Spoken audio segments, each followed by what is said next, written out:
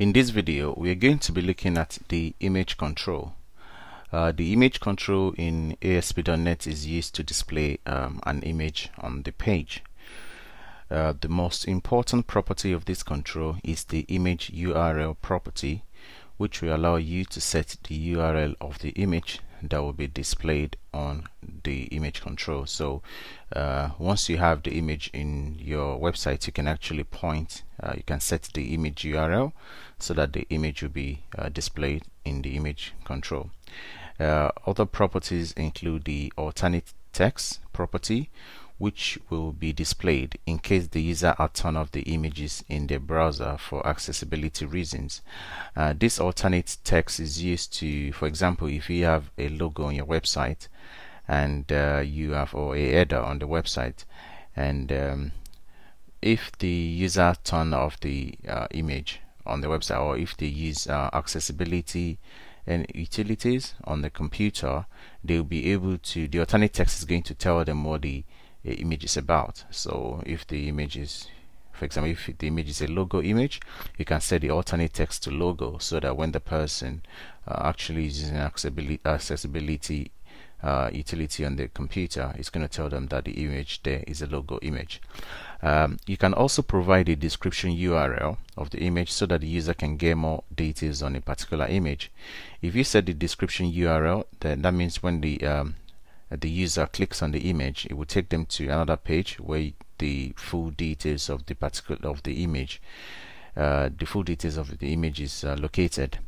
Uh, another properties of the image control is the generate empty alternate text.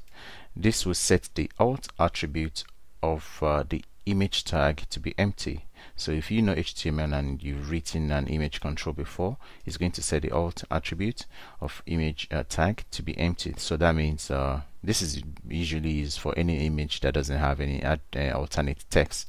So if you're just using it for just the fancy uh, prettiness if you just want just using it for the sake of using it and it doesn't have any doesn't add any value to it you can set the alternate text to be empty. So let's go to VWD 2008 and see the example of what we've done. So we go to the design view, as you can see, I have added an image control. So and the image control is located here. So if you drag an image control to the page, so let's do that now. Let me show you. You drag one to the page and it's just going to be empty as such so how do I get image on it? I'll show you. So let me delete what I just added. Is if you want to add an image on your computer to the uh, project what you do is you right click on the project. Remember normally we select add new item. Uh, this is not what you do because the new item is an item that is not already on our system. So that's not what we want to do. What we want to do is you want to add an existing item. So if you say add existing item right click on the project and choose add existing item then it's going to allow you to browse your computer. So you can go to picture or whatever your picture is located and you can pick one. So let's pick the jellyfish and say add.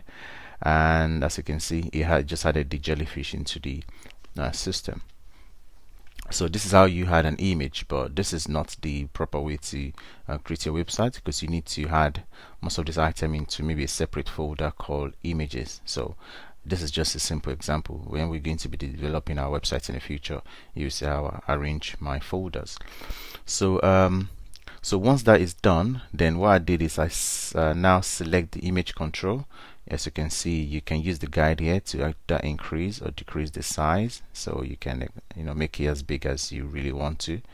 So um, so once you select the image control or maybe from the property here you can set uh, the width if it's visible to be true. The image URL when you if you want to set the image URL you click on this ellipsis and it's going to bring out all the content in the folder that matches uh, this extension the GIF file the JPEG the BMP the PNG so as you can see these are all the items I've already added to my project. So I just selected one of them and automatically added it to it. So now here we've set the height. Uh, what else property have we also set? And that's it. That's all we have set. So but uh, to make the uh, program uh, the application web application to be more fun. I've added three uh, radio buttons and I've configured them. As you can see I've set the uh, group name so that they all uh, behave in groups to the same thing. So what I did is I, I wanted to uh, to change the pictures here depending on which of these uh, radio buttons is being selected so let's go to the source code and have a look of what I have done. So these are the radio button I've set the group name to be image. I've set the text on it. The auto post back I've set it to true. You know the reason why we always set our uh, auto post back and I don't want to repeat that. Uh, so OnCheckedChanged remember the uh, default uh, event handler for uh, a radio button. So this is what I've done with each button. So I've actually configured the default uh, the default event handler for each um, radio button so that whenever the uh, the checked the check property of the radio buttons change I want to set uh, the image one which is going which is, this is the image control. I want to set the image URL to be this image and if the radio button 2 is uh, checked I want to uh, set the image URL of the image control to this image.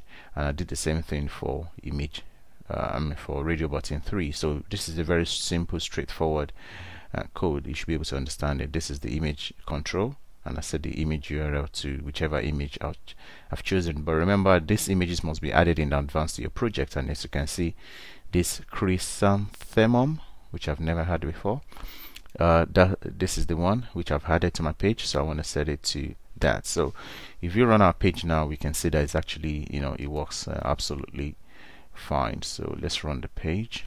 So uh, as you can see this is our page and the default image URL that I set. Remember I set a default image URL so this is what's going to pop up in our image uh, control. But if I should select maybe the second image uh, the the if I should select the second image it's going to reload the page and it's going to change it has already changed the image but because it's the same image as the default image that's why we haven't seen the changes. So let's change it to the first image. As you can see it changes the image the third image uh, it changes the second image it changes first image changes. So this is uh, this is not a perfect way to uh, change your images but uh, so you you know what I mean you understand we use the button I mean the radio button control and the image control. Just want to show you how the image control works. Don't worry about the codes for the uh, radio button.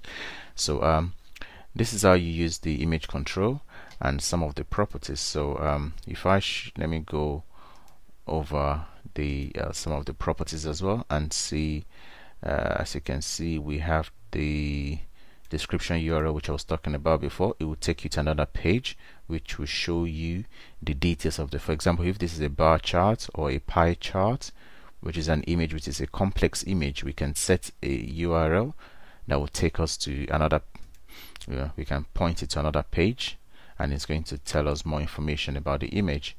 And uh, what else do I need to so um, as you can see you can set the image image align you can set where, where you want the image to be aligned to. If you can play around with some of these properties in your own image. So I hope you've understood what the image control does and I'm going to see you in the next video. Thank you